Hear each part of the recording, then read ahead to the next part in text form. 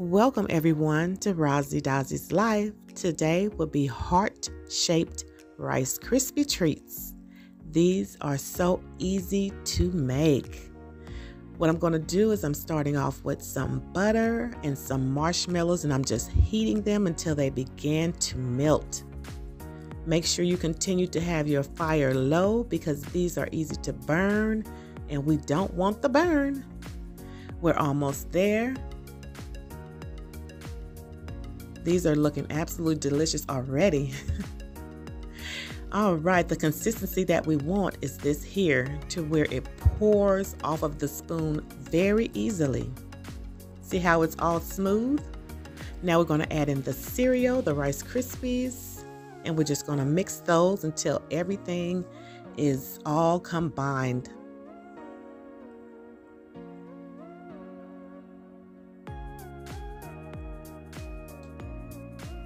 Doesn't that look good, y'all? So delicious. Never put too much cereal in or else you'll have very hard Rice Krispie treats. You want them to melt in your mouth. So now what I'm going to do is after I mix them, I put them all down on a piece of parchment paper so I can get them flat so I can go on ahead and start making my heart impressions. And now see what you need to do is you need to use your hands as well. So what I'm gonna do is I'm gonna put some gloves on and I'm going to go on ahead and start smashing them down because I want them to be at a certain height. So when I use my stencil, they'll all be like the same height. You don't want them thin and you don't want them too thick, but you know, to each his own, it's up to you. So here we have it. They are at a very, very good height for me. So now I'm going to go on ahead and start pushing out my hearts, y'all.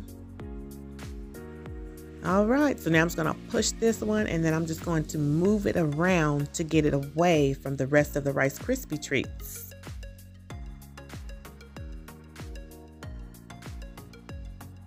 Perfect, right? So easy. And you can do this with, of course, any kind of stencil. Or you can just put them in a pan, smash them down, so you can just go ahead and eat them. You to get with them because they're good.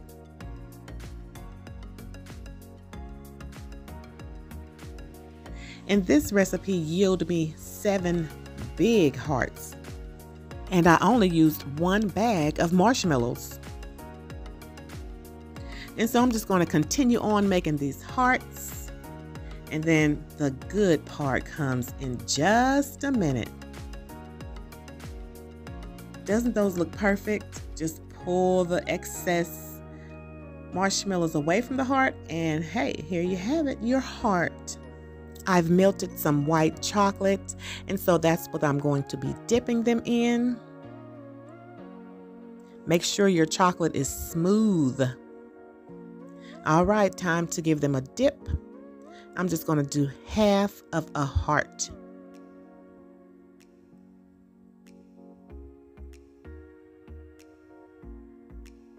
And you can, of course, use milk chocolate as well.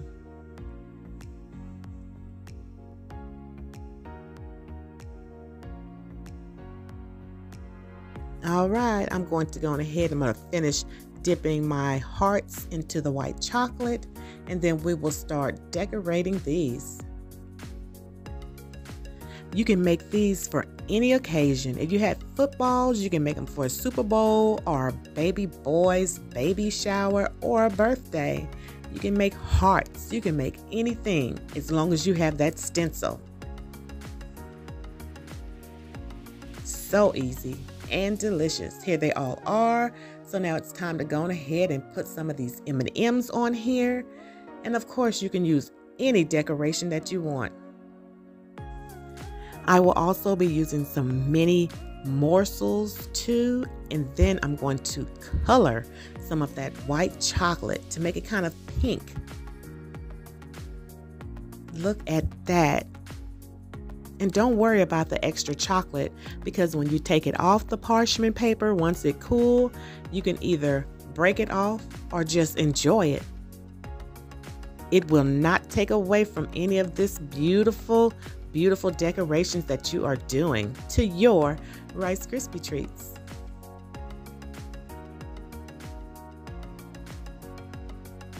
That's the one that I used a little bit of the red food coloring.